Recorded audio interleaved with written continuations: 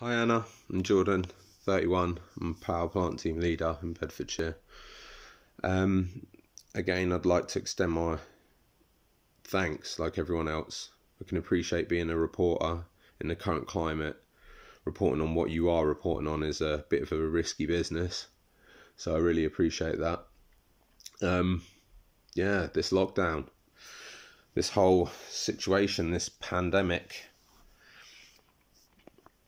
I tell you, it's um, yeah, it's just an incredible turn and series of events, really. So my experience, um, in the beginning, I had a, a relatively high level of uh, sort of paranoia or fear, worry, really, for people. Um, my nan wasn't ill at the time, and I was uh, thinking that the respiratory disease, like what they were describing, could certainly finish her off. She is dead now, but not of COVID. Um, unfortunately, that was a funny turn actually of events there. But um, yeah, I was worried about her. I was worried about older people that I work with. I was worried about you know the demographics that they put forward that were at risk. Um, you know, I sort of picked up the news story ahead of a lot of people in in the public I would consider, and yeah, I was a bit cautious, but when the lockdown came and after it had been set in for a couple weeks those first couple weeks were just bizarre weird no traffic on the roads ghost town everyone just buying panic buying for no good reason really. Um, i started to question it like a lot of people. Um, they, you know what they were essentially shutting the world down for I was I would have been expecting in the at the early points like yeah a couple weeks and we are literally going to start seeing people you know just so many sick people about uh you know no, no food on the shelves no transport network no you know power cuts uh, maybe water going off for periods you know where people are so sick they can't maintain the country they'll keep it going. Um and obviously everyone was just getting on with their lives. There are people on furlough people are out running you know, like from early on, you could see that.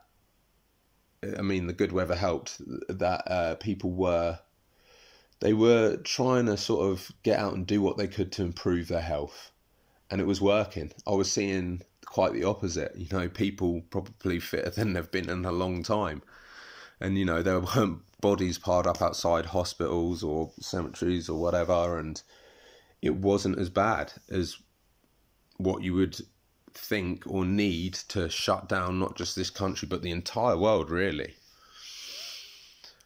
And as time wore on i think more and more people started to question things. And if there's one thing we've been guilty as of as the masses it's not questioning things not applying critical thinking. We just we're like this on our phones all the time aren't we? You know so distracted by pointless news, pointless media, really. We're all guilty of it, me included. Um, but this is changing people. It really is. I mean, just look at the amount of videos on your channel. Just normal people. Some of them worried. I mean, I couldn't imagine what it would be like to be a single person, certainly in the beginning, at home, like living on your own, just completely cut off from so many people.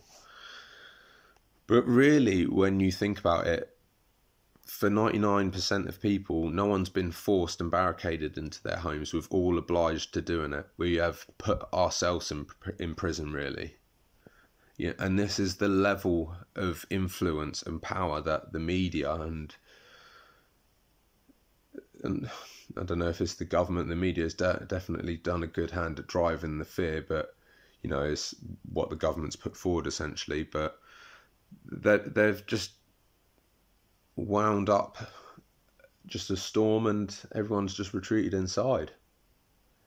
And uh, I think a lot of people are just starting to question it and saying, hang on a minute, this isn't right. You know, and people are starting to really question the media, the news, all the false reporting and, and the government, the figures, you know, they've reassessed the figures now and it's just they've moved the goalposts constantly. You know, with the rules, with what you can and can't do, what is dangerous, what's not, what helps, what doesn't.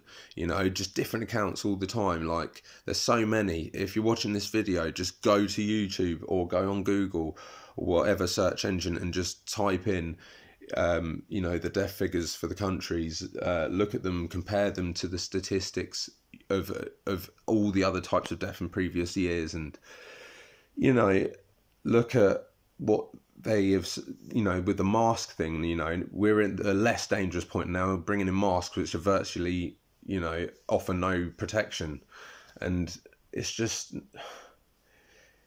they, like I said, they just move the goalposts all the time, and if it was that deadly, there'd be no need. Masks would be something you'd be using from day one and everything else, and nothing would be open still until it was dealt with, or to some degree, you know. And and the other thing, the most important thing now, people are just questioning this vaccine. They really are, and so they should be, and so they should be. You know, for so many reasons. I mean, just everything. You've got to look at everything. The fact they're censoring information. Why? If it's lies, it'll be found out. It will come apart. The story will come apart and really, I think everyone deep down, I think everyone deep down knows what this is all about. I think everyone's questioning it. I think most people are answering, asking the right questions, and we just need to say no more. It's ridiculous. We they are taking the Mickey out of us.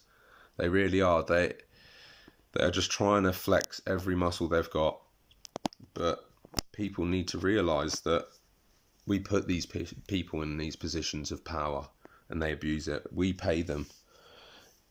And this military, this police force, they serve us.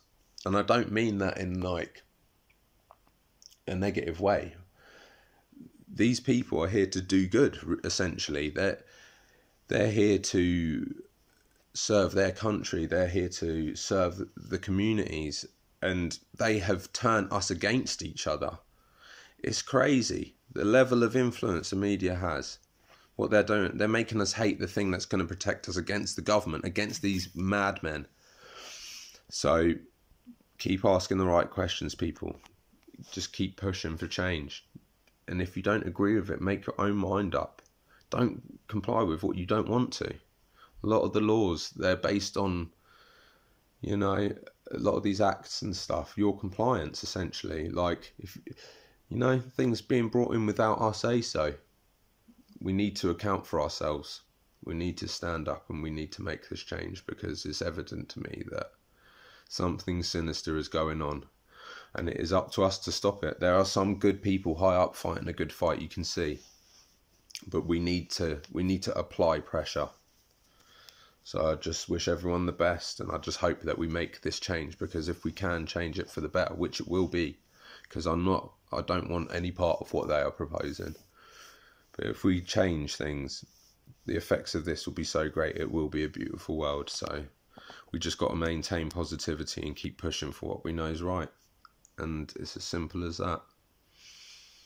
It really is. So take care.